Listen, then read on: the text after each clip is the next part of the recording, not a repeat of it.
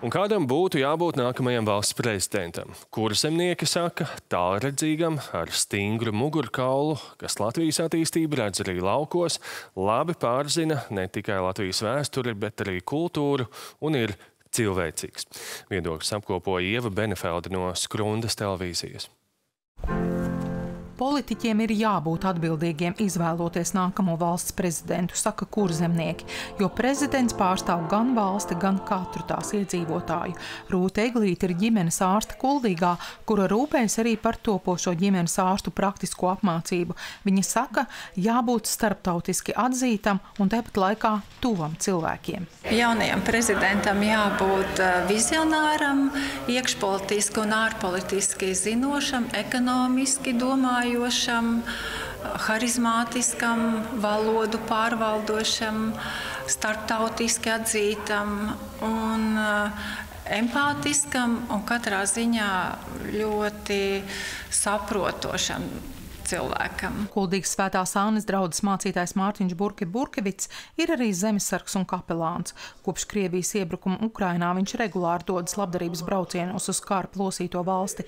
Arī viņš kā pirmo nākamā valsts prezidenta īpašību min cilvēcību. Tādam, kuram rūp tauta, kuram rūp tās izaugsme, kuram gal galā rūp tās izglītība, jā, tādā visaptvarošā nozīmē.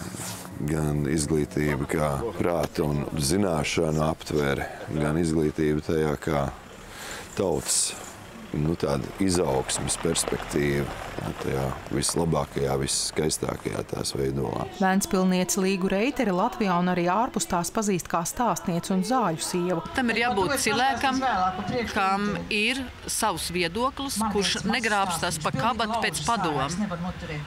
Viņam ir jābūt ne tikai zināšanām, bet arī saprašana par uh, par to, kas ir Latvija, kas ir tauta un kāda ir šīs dienas situācija, kas viņam pašam patīk un ko viņš gribētu mainīt, lai viņam būtu labāk. Un ja viņš sev salīdzina ar tautu, tad arī tautai būs labāk. Bet ja viņš sev salīdzina ārpus tautu, tad tautai nekad labāk no to nebūs. Tām piekrīt arī mākslas zinātniece Alise Volānska. Tas ir karoks, vai teikt, vai ne? Tā ir vizītkārta, nu, nu, nu vēl kaut kas tam līdzīgs, ja?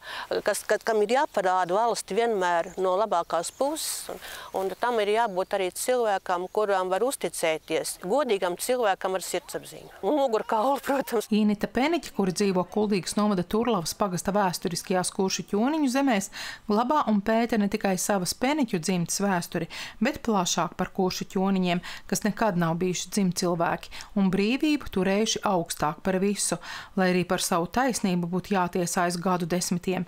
Viņa saka, bez jau minētajām īpašībām prezidentā ir jābūt arī kam no kuršu ķoniņiem. Ir jābūt tai milzīgai tieksmei uz brīvību uz to savu neatkarību. Mēs esam Eiropas Savienībā pilnīgi par.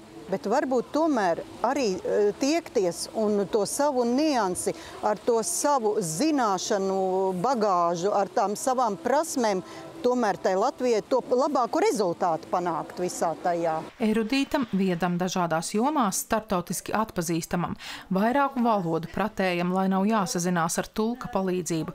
Tā saka etniskās kultūras centra suiti vadītāja Dace Martinova, uzsverot, ka svarīgi ir sakņoties savā zemē. Prezidentam vajadzētu arī būt ārkārtīgi lielai tai dzīves pieredzei, kas nākusi ir no, no nevis no pilsētas, bet vairāk no reģiona.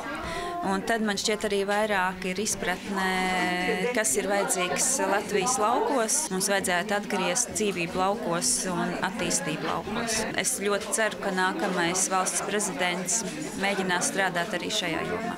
Ieva Benefeldolāns Perševits, Ivo Perševits, Skrondas televīzija.